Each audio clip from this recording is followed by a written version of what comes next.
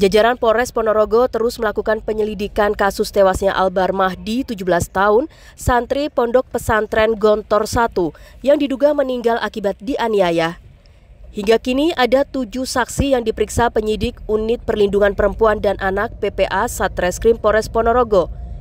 Ketujuh saksi itu yakni dua santri berinisial RM dan N, dua dokter, serta tiga ustadz pondok pesantren Gontor 1.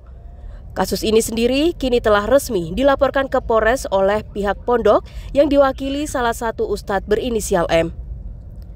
Kapolres Ponorogo AKBP Catur Cahyono Wibowo mengungkapkan dari keterangan saksi sementara pemicu tewasnya Albar yang masih duduk di bangku Madrasah Aliyah kelas 2 itu akibat kesalahpahaman dengan santri senior. Namun ia belum menjelaskan rinci motif para senior santri ini hingga menganiaya Albar hingga tewas. Satreskrim khususnya sudah memeriksa tujuh saksi yang berkaitan langsung dengan kejadian tersebut.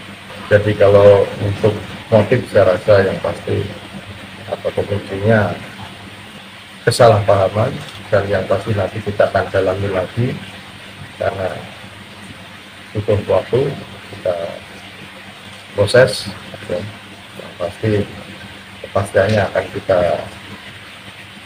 untuk motif kita akan kita sampaikan nanti.